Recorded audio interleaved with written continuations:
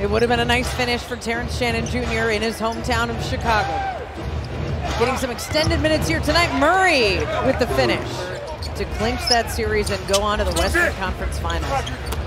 Jokic, offensive rebound off the Murray miss. Murray relocates to the corner and drains a three-pointer.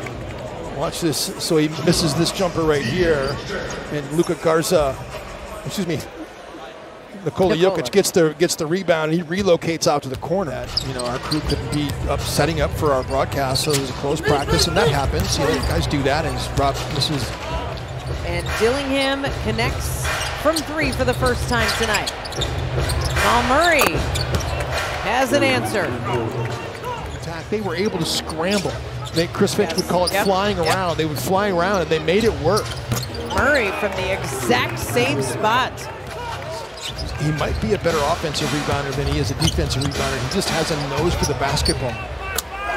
Three ball from Julian Strawther is good. And Denver. Nikola Jokic leads the break for Denver. Strawther. From the baseline, Julian Strawther. to the rolling and dribbling, attacking Nikola Jokic. And Mana tried to get there to rotate as the low man that time was a little late. Turnover by the Wolves. Oh, absolutely. They, they, he's been here now a couple years, hasn't played much, and they stick with him. Nice. Murray, the lob.